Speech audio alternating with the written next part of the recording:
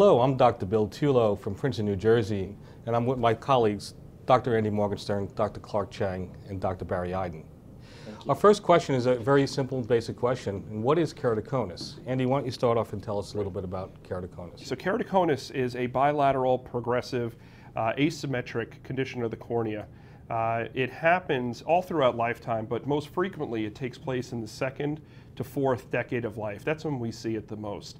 Um, it can range in severity from, from mild uh, to severe, and uh, in some severe cases, we can even be having patients with uh, real low vision problems. This could be a pretty significant condition. Um, the mechanism of action of this disease, Bill, um, uh, when I've researched and when I've seen with my patients, you know, this is a disease of the entire cornea. We know the eye is like a, essentially like a water balloon, and it has some forces on the inside that push outward. Well, in a case of keratoconus, the, uh, the cornea, the structural integrity of the cornea is weak. And even though that pressure inside the eye may be normal, it's still a force that's pushing on the cornea. That causes the cornea to bulge forward to increase in steepening and to thin out. And that's where we get the problem with keratoconus. Uh, with research coming out, and we realize that most likely, and I think there's quite a preponderance of evidence that we are dealing with a hereditary condition. I think it's really important to understand that because that really influences how we manage not only the patient, but everybody related to that patient as well. Uh, we're dealing with a condition that probably is associated with abnormal collagen in the cornea, affecting the biomechanics of the cornea. So this then influences diagnostic testing, again, for early detection. That's the key element. What is the traditional methods that we've used to diagnose keratoconus? Over the years, what, what tools have we used? Corneal mapping devices that map the curvature, not the elevation, the curvature of the front surface of the cornea. We've also used slit lamps. We're looking for uh, different things uh, uh, in the cornea, like uh, Vogt stria uh, and other uh, clinical signs that we pick up. This is an ongoing issue and an on ongoing problem for all of us because those of us who are involved in the management of this disease at a higher level shall we say, seeing many more patients than perhaps the average. We're using technologies that are far more advanced, which we'll get into specifics in just a few moments. But the rank and file and vast majority of eye care practitioners are still depending upon methodologies of diagnosis that virtually will detect keratoconus when it's already become very clinically significant. And because now we're looking at halting progression, prevention, saving vision, um, perhaps we have to rethink what routine standard of care is all about and apply some of the newer technologies.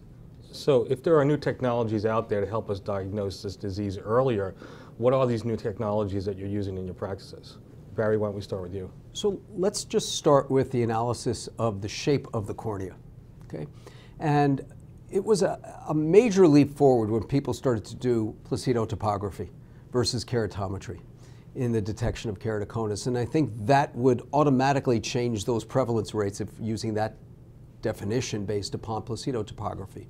But we know, unfortunately, that there are significant limitations to Placido topography that we really have to acknowledge and address. Number one, Placido topography does not measure corneal thickness in any way. And we know that corneal thickness is a really critical element, not specifically how thin the thinnest point is, but where the location of that thinnest point is in terms of relative position in the cornea and the change in thickness from the thinnest point out to the periphery. Very, very important. Secondly, uh, Placido topography doesn't measure the back of the cornea.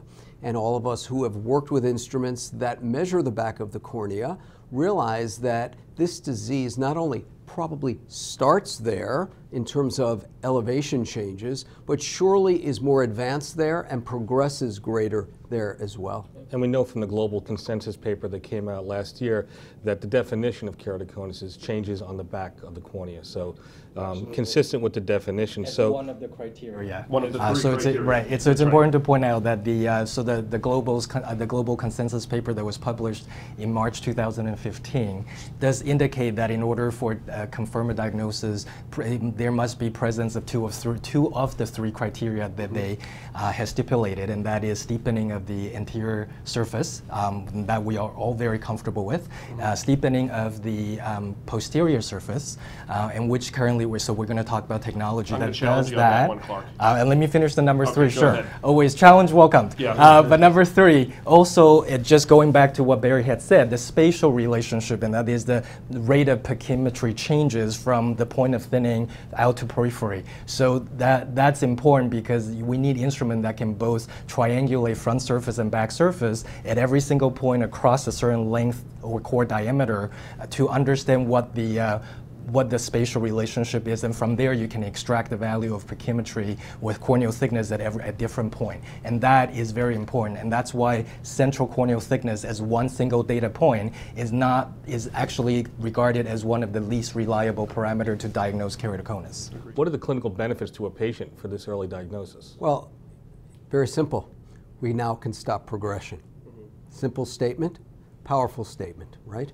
We have technology now that can influence the natural course of this disease and stop it fairly well in its tracks with the advent of corneal cross-linking. When you can influence a disease uh, progression like that, um, earliest diagnosis makes all the sense in the world. So let's think it through. When would we want to make this early diagnosis along the continuum of the disease? In my view, preclinical. What I mean by preclinical, it's not affecting visual performance. We're not seeing anything clinically under the slit lamp, but we know the disease is there, and we have a high suspicion or confirmation, depending upon how we've been monitoring the patient, that that disease will or is progressive.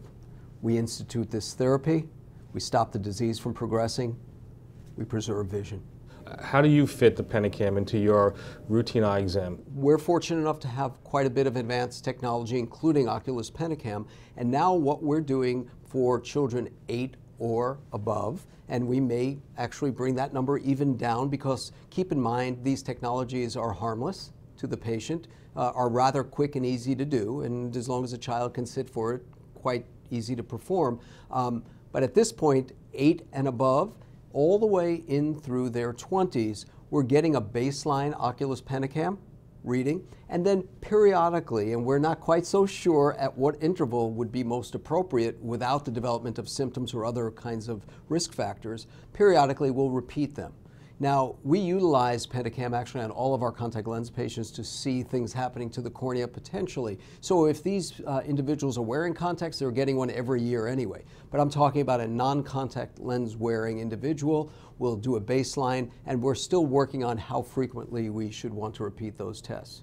Tell us why our, our, our profession should be looking at cross-linking for our patients. So the efficacy of just looking at arresting the disease or slowing down the keratoconus disease is anywhere from uh, 92 to about 98%, pending which paper that you read. So Barry, if we have a, a treatment modality like cross-linking that has an efficacy in the 90 plus percentile range, we have a diagnostic machine. There are many machines out there that can measure the cornea front and back, but I think one of the unique things I'd like you to talk about is the uh, validated database that the Pentacam has and what the advantage of that is. To me, that's one of the key elements of this instrument that make it so powerful.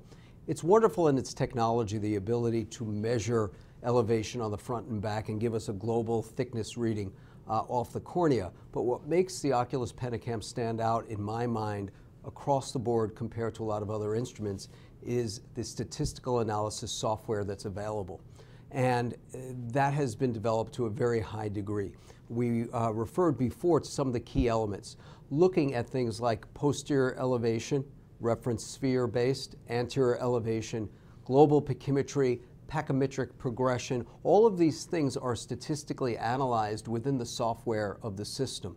And there actually is a package, the Bell and Ambrosio uh, Ectasia uh, package, which does a tremendous job in assessing the statistical likelihood of a cornea being ectatic or keratoconic. This is amazingly powerful stuff.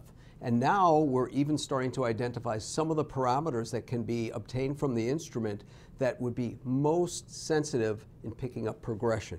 Because this is critical in deciding not only who will get cross-linking, but in deciding about the efficacy of the treatment over time. Excellent. Um, Clark, when you use the Pentacam, what do you find most useful to you in a clinical setting? I love the fact that it's so comfortable and so quick. Patient finds it, find it very easy to sit through an exam, and that I can't tell you how important it is for serial testing for patient monitoring in the future. So one final point I'd like to follow up on that Barry brought up earlier was um, monitoring the progression of the disease. Um, there's some new software in the Pentacam that Dr. Belin devised for following uh, corneal progression. I think it's particularly important when you want to measure the effect of cross-linking to see if someone is truly stabilized. Barry, can you tell us a little bit about this brand new software? Sure. Over this past year, um, you're right, a couple of new uh, factors have been looked at. First, in terms of staging keratoconus, getting a better idea of that, but I think more powerfully in terms of progression.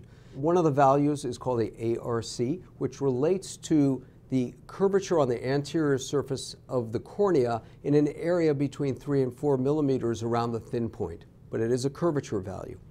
Then the PRC, or the posterior, is the same concept on the back of the cornea. We're starting to look at those numbers and document those numbers in all of our cases of keratoconus and suspected keratoconus and utilizing those numbers to watch over time. Now, what needs to be developed is a much stronger normative database for change over time. There's some, you know, early statistical analysis based on very small populations if you look at what, what has been done so far, but I'm sure in the very uh, relatively near future, those numbers and the studies will expand to larger uh, databases. So we can really get some strong numbers and say, for example, in the ARC or PRC, how much of a change over time is test retest variability versus true progression of the disease. Same thing for uh, pachymetry.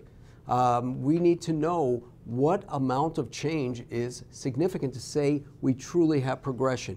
The answer is not 100% solid yet, but we are getting much closer than we were before. The nice thing about that new classification system, it also takes into account uh, uncorrected vision. Yes. Um, so when patients lose their best corrected vision, they, that can be taken into account in the ABCD classification. Mm-hmm. So I think it's a great start, and it's the, really the first system I've seen to watch patients' effect from cross-linking, the benefits they have, and the stability of their cornea over time.